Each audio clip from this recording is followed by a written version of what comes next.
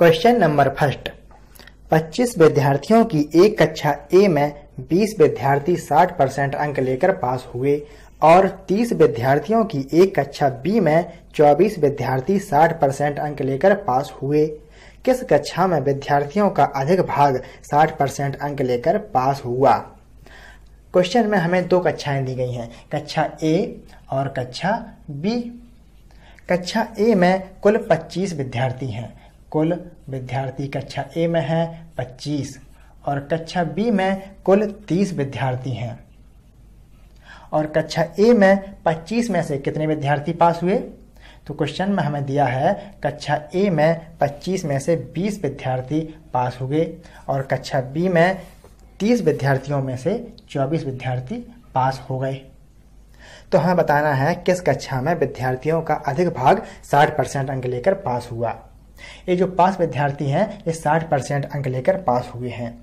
सबसे पहले हम कक्षा ए में निकालेंगे कि संपूर्ण विद्यार्थियों का कितना भाग 60 परसेंट अंक लेकर पास हुआ। तो इसके लिए हम भिन्न बनाएँगे। भिन्न बनाने के लिए हमने बटे का चिन्ह लगाया, अंश बनेगा यहाँ, हर बनेगा यहाँ। हर में हम रखेंगे संपूर्ण संख्या और अंश में हम रखेंगे वो संख्या जिसका मान याद करना है।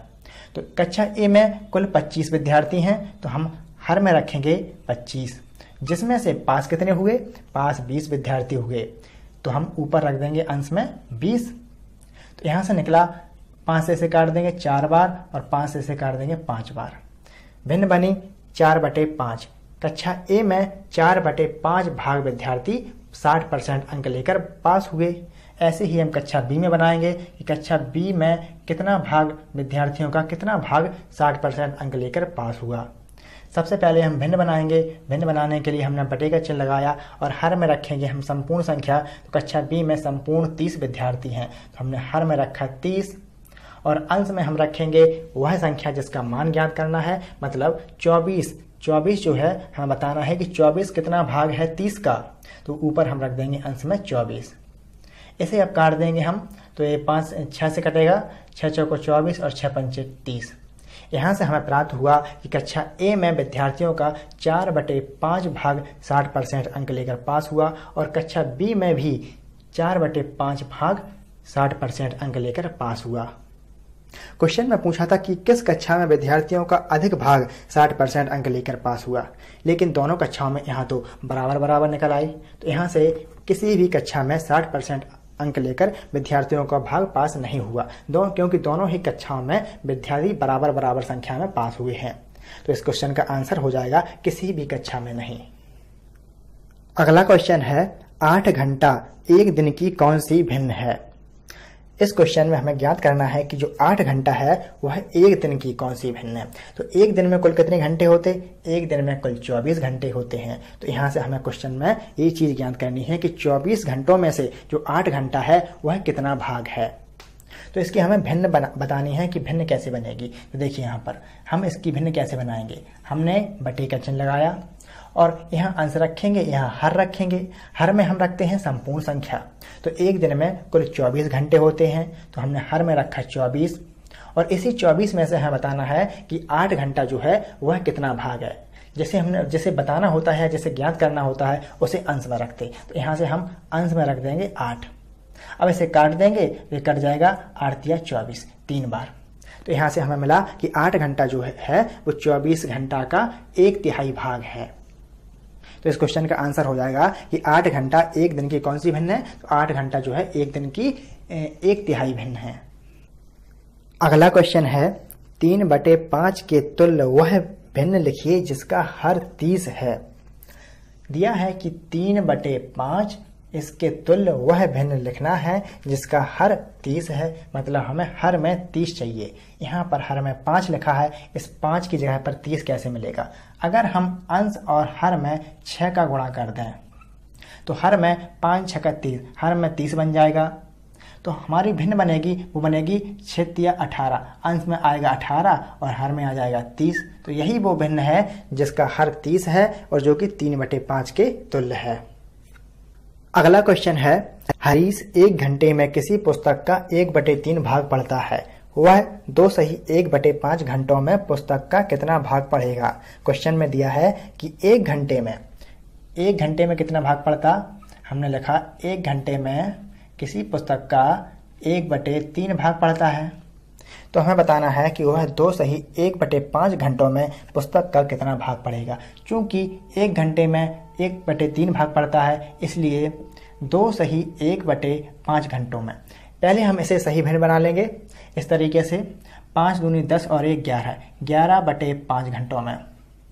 ग्यारह बटे पाँच घंटों में कितना भाग पड़ेगा यहाँ से हम कर देंगे एक बटे तीन गुणा ग्यारह बटे पाँच ग्यारह एकम ग्यारह और पाँच दिया पंद्रह। यहाँ से हमें मिल गया ग्यारह बटे पंद्रह।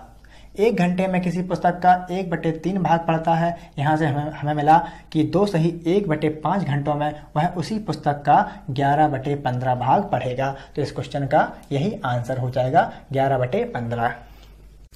अगला क्वेश्चन है, एक धन का एक बटे तीन भाग, उसके एक बटे चार भाग से बारह अधिक है। धन का तीन बटे चार भाग ज्ञात करो। मान लिया हमने कि वो धन x है। वो धन x है जिसका एक बटे तीन भाग तो हमने इसका एक बटे तीन भाग कर दिया। उसके एक बटे चार भाग से बारह अधिक है। उसका हमने एक बटे चार भाग लिया एक्स का ही एक बटे चार भाग। तो ये वाला एक बटे तीन भाग, उस धन के एक बटे चार भाग से बारह अधिक है। मतलब कि ये संख्या इस संख्या से बारह बड़ी है। अगर हम इनका अंतर ले लें तो ये बराबर बारह का बारह के बराबर हो जाएगा। यहाँ से हमें मिला x बटे तीन माइनस एक्स बटे चार बराबर बारह। अब इसे हम हल करेंगे और x का मान ज्ञात करेंगे। इनका एलसीएम हुआ बारह। तीन चौको बारह ये हो गया चार एक्स माइनस चार तिया बारह। तीन का इसमें गड़ा हो, हो जाएगा ये हो जाएगा तीन एक्स बराबर बारह। चार एक्स माइनस तीन एक्स मिलकर इसे हम घटा देंगे तो हो जाएगा एक्स बटे बारह बराबर बारह।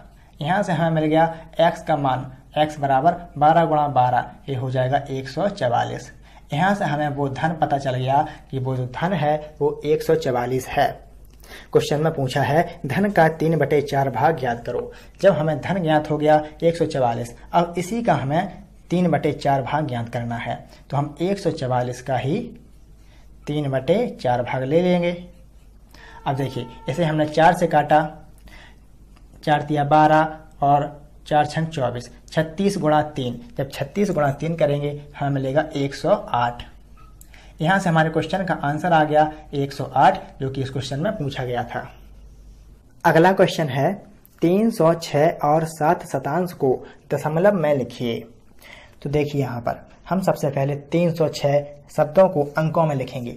तो तीन सौ छह को हम ऐसे लिखेंगे। और लिखा है सात शतांश। तीन सौ छह प्लस सात शतांश। इसको हम क्या लिखेंगे? सात और शतांश के लिए सौ का भाग दिया हमने। तो ए लग गया सात शतांश। तीन सौ छः प्लस सात शतांश। बस इसे आपस में जोड़ना है। तो ये हो गया तीन सौ छः प्लस दशमलव ऊपर दो अंक लेफ़्ट साइड में खिसक जाएगा। तो यहाँ से हमें मिलेगा सात, ज़ीरो और यहाँ पर दशमलव। दशमलव ज़ीरो सात। इन्हें आपस में हम जोड़कर लिखेंगे तो ये हो जाएगा तीन सौ छह दशमलव ज़ीरो सात। यही इस क्वेश्चन का आंसर हो जाएगा। अगला क्वेश्चन है, ज़ीरो दशमलव पाँच आठ चार तथा ज़ीरो दशमलव पाँच सात तीन चार में से कौन सी संख्या बड़ी है? दो संख्याएँ दी गई हैं, ज़ीरो दशमलव पाँच आठ चार और ज़ीरो दशमलव पाँच सात तीन चार। इनमें बताना है कि कौन सी संख्या बड़ी है। तो कैसे ज्ञात करेंगे? आप यहाँ पर दशमलव के बाद देखिए। दशमलव यहाँ भी है, यहाँ भी है। दशमलव के बाद पहली संख्या पाँच है, दशमलव के बाद पहली संख्या पाँच है। अभी तुलना नहीं हो पा रही कि कौन सी संख्या बड़ी है या छोटी है। दशमलव के बाद पाँच पाँच के बाद आठ है, लेकिन यहाँ पर पाँच के बाद सात है। तो हमने पाया पाँच के बाद यहाँ पर सात है, पाँच के बाद यहाँ पर आठ है। जो भी पहली संख्या बड़ी मिलेगी, वही संख्या हमारी बड़ी संख्या हो जाएगी। यहाँ पर पाँच के बाद आठ मिल गया, यहाँ पर पाँच के बाद सात मिला। सात से बड़ी संख्या आठ होती है, इसलिए ये संख्या बड़ी हो गई और ये संख्या छोटी हो गई। तो इस क्वेश्चन का आंसर हो जाएगा दशमलव पाँच आठ चार बड़ी संख्या है। अगला क्वेश्चन है, नौ मीटर सात सेंटीमीटर को दशमलव का प्रयोग करके मीटर में लिखिए। दिया है क्वेश्चन में, नौ मीटर और सात सेंटीमीटर को दशमलव का प्रयोग करके मीटर में लिखना है। तो इन्हें हम कैसे लिखेंगे? देखिए, नौ मीटर तो पहले से मीटर में है, इसे हमने जगह में लिखा। हमने प्लस का चिन्ह लगा दिया। अब सात सेंटीमीटर को मीटर में बदलना है। तो 100 सेंटीमीटर में एक मीटर होता है।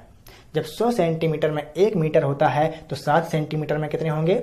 हम इसमें सात सात में 100 का भाग देंगे। तो ये बन जाएगा मीटर में।